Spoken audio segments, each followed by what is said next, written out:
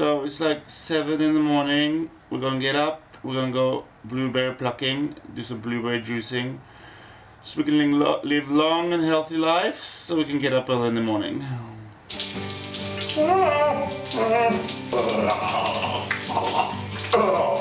Obviously, before we go, there's one thing that we have to figure out. And that's what to wear. Are we going to the ball? Maybe, but not today. This is it. Sound it. So here we are. This is real life proof. P for proof that it's actually seven in the morning. Okay, let's go. My God, somebody should really, really, really clean those windows. Okay, let's go. Ay, I'm really actually much, much, much better than that. This never happens. Okay, I promise.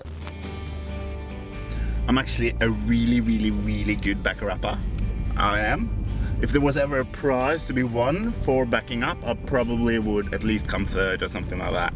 Everybody now, you are my sunshine, my only sunshine. Okay guys, so we're basically approaching this toll thingy that we have to pay to get up in the forest. That was easy.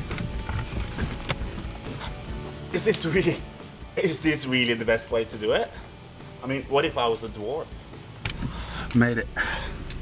Okay guys, here we are in the beautiful forest, but there's one important rule that you always have to remember when blueberry plucking, and that is keep your spot a secret. So this is what you do. Let's just say, for example, that I have a secret spot over there where I know there's a lot of blueberries, and I actually know there is a lot of blueberries there.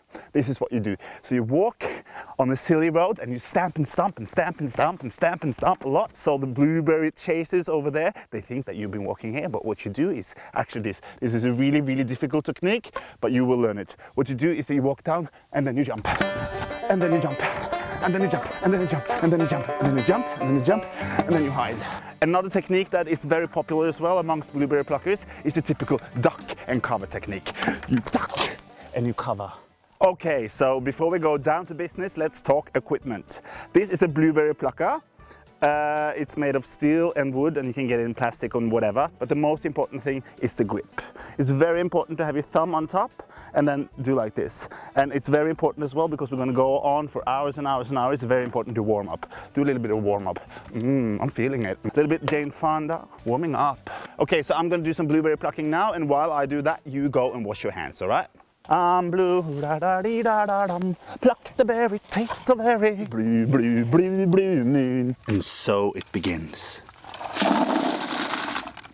Okay, guys, as you can see, we are being visited by natural predators of the Norwegian forest. These are not a threat to us as blueberry pluckers. If it was a bear, I would have to kill it. But this is not a blueberry sheep, so this one we can just let go. All right? The mosquitoes are killing us. You're just gonna have to have a scratch break. Alright then, so this is the second to last one.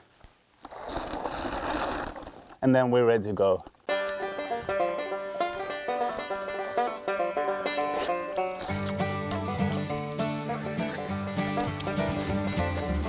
Øystein, did you eat half of the berries I plucked?